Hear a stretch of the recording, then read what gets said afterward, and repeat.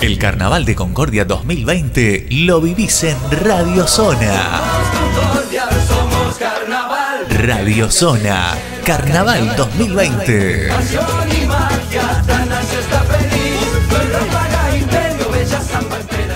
Macarena Sánchez, bastonera de Imperio 2020, bienvenida. Yes, hola, un gusto, buenas noches.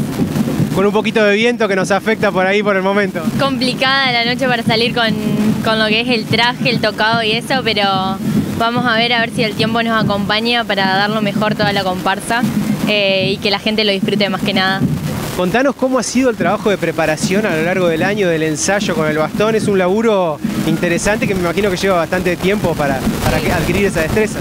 Sí, sí, lleva tiempo lo que es el bastón, lo que es el traje también. Eh, me estuve preparando con la baston- ex bastonera de Imperio, ella me ayudó muchísimo, que le agradezco mucho. Eh, y sí, sí, lleva un tiempito de preparación bastante largo. ¿Cuánto tiempo saliendo en carnaval? Eh, siete años con este, sí, hace banda.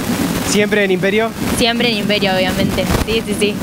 ¿Y qué nos podés contar respecto de la devolución de la gente? ¿Qué te ha dicho de estos dos desfiles anteriores? Eh, la verdad que lo que fue la segunda noche se sintió mucho el acompañamiento de la gente, eh, cómo te transmitían esas ganas de seguir bailando y que, que le encantaba la música, que se copaban.